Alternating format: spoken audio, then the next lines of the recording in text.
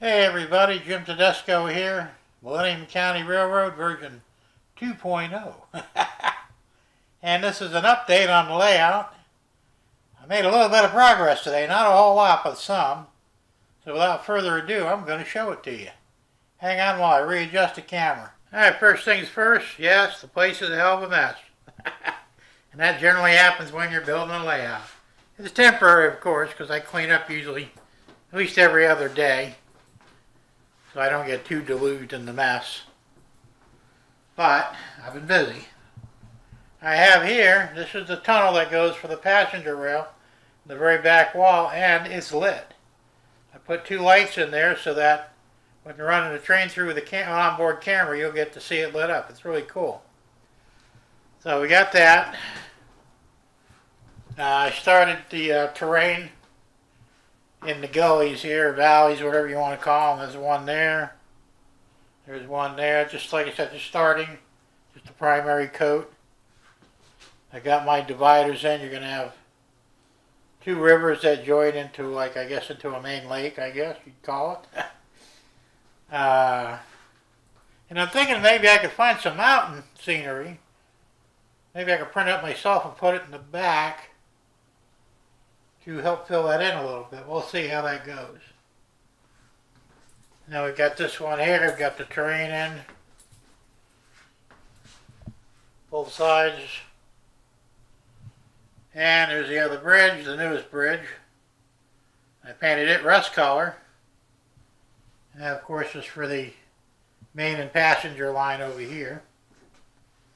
I also painted the green bridge, or blue bridge, whatever color it was. It's now a gray, and I like the gray better, so it's going to go over here in front of the tunnel. And of course, the tunnel will be, you know, mountainous or whatever. I'll have to fill that in later. I started terrain over here as well, in the back wall, that side section. And I've got my main, uh, I guess you call that a river, river down the middle. I'm going to set that up real nice. And I started laying track. So it's, going to be a slow, long process because I just kind of limit on what I can uh, weight things down with and all that. So I start on the passenger line. And it comes around like so. And terminates right here for the moment. Tomorrow I'll run, I'll do the, the whole run down to the end. And I couldn't really do much before because, remember I said I was going to go ahead and join, uh, put a, um, a connection between the main line and the passenger line. Well, I needed two more turnouts, so the two Peco turnouts ordered came in. Yay! they came in yesterday. So I should have enough turnout, turnouts now for the lower lower level. I'm going to have to buy a whole bunch for the top, you know, for the ladder and all. And I'm probably going to use that uh, ladder system that Sparky was talking about. I like the way it looks and it seems a lot easier than trying to piece together turnouts willy-nilly, so I'll look into that. I was also waiting on a curve turnout right there. That came in yesterday as well. So, not too bad. I mean, it's not a whole lot. Definitely nothing to brag too much about, but it's a start, right? And you got to start somewhere. So hopefully I could get at least maybe everything on this table here track-wise on the lower level. Hopefully I get all the track in, like in the next two or three days. Maybe four days, hard telling. I'm still waiting on the crosses for the uh, swing gate. The cross tracks. I don't know what's taking them so long. They were ordered two weeks ago. If the mail were any slower, I'd have to check it for a pulse. so that's kind of a hold up there because I got to have the two crosses where it jumps, you know, two cross two tracks there. So, uh, but anyway, that's where we're at. Uh, anything else? Oh yeah, so I did do a little rearranging here. I raised my refrigerator because you know I'm getting old and it's hard to bend down. so I, I made a, a platform out of some paint cans and a piece of plywood. Now it's a little bit higher and I moved it over some. And I cleaned off the bench, it's a little more organized. And that's the thing, you gotta really stay on top of the whole organization thing, it's not easy. What I'm gonna do is, I ordered a sink. I know you guys probably think I'm nuts. But you know, when you're doing a lot of painting and stuff, what do you need to go with your, your airbrush and your airbrush paints? You need water. Well, I have no water source in here. and The nearest water source is about 50, 75 foot away. So I'm going to run a cold water line into the shed. I bought a sink.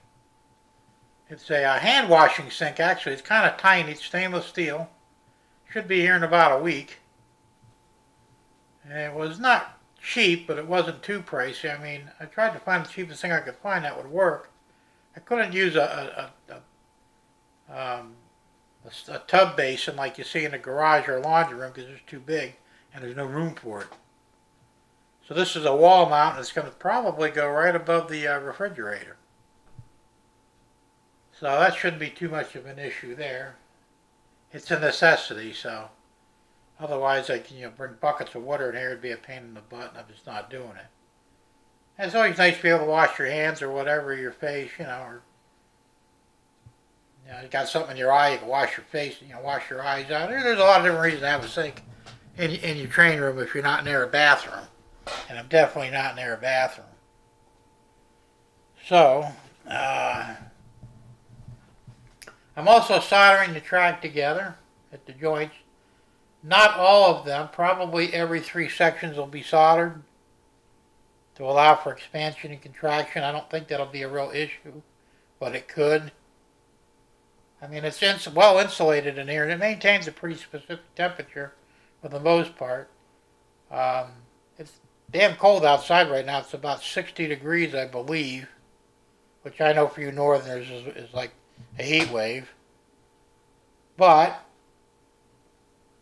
for down here, it's cold. And for this time of the year, it's very unusual. Now, today was the first day of spring. And my trees are still shedding leaves. They're not supposed to be doing that. so I think every you know, Mother Nature is a little confused right now. But uh, so anyway, that's where I'm at, and I haven't really done much of anything. I started to build what's going to be the new Doodle Lake, the nude lake. Gotta have that, right? Um, it's going to be well camouflaged from the trains and from, you know, because it has to be. but that's where that's going to be. Uh, let's see, anything else? That's about it for right now. So, like I said, I'm still waiting on those crosses and a, and a few other things. I did purchase another airbrush. I bought a trigger brush this time. And the reason I bought it is because it could do larger volume. Has a point or a 0.5 millimeter tip on it. And it really wasn't that expensive and it's a nice it's a nice one too, so because the ones I use, they just they're such a small pattern it would take like I, I can't believe that, you know, in the one in Naples, my mountain terrain, which covered what, three walls? I don't know, it must have took me forever to do that because I used the same technique. I used an airbrush. And I started using their airbrush here, the old one. I go, oh man, I'll be here for a month. and this is a small area. So, but anyways, and of course I'm going to go over a second coat with uh, the India ink which I still have plenty of that. Good stuff. That's what I did last time. I gave a lot of definition. So we'll do the same thing this time. Should come out nice. Uh, uh, let's see. That's about it, I believe. I can't think of anything else. So we're going to wrap it up until next time. As always, keep it on the rails. And we'll see you real soon. And thanks again for watching. Really appreciate it. And we'll see you all soon. Bye.